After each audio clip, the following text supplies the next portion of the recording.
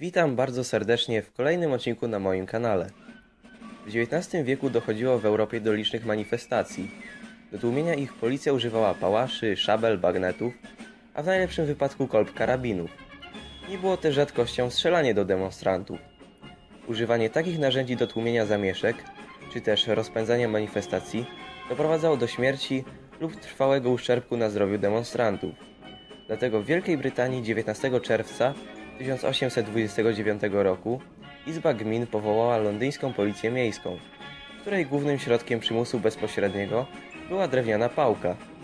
Od tego czasu stała się niezbędnym elementem wyposażenia policji angielskiej, ale również służb porządkowych w wielu innych państwach europejskich. Ciekawostką jest to, że w Policji Państwowej II Rzeczpospolitej pałki rozpowszechniły się dopiero w latach 30. i nie nazywały się pałkami, tylko pałeczkami gumowymi.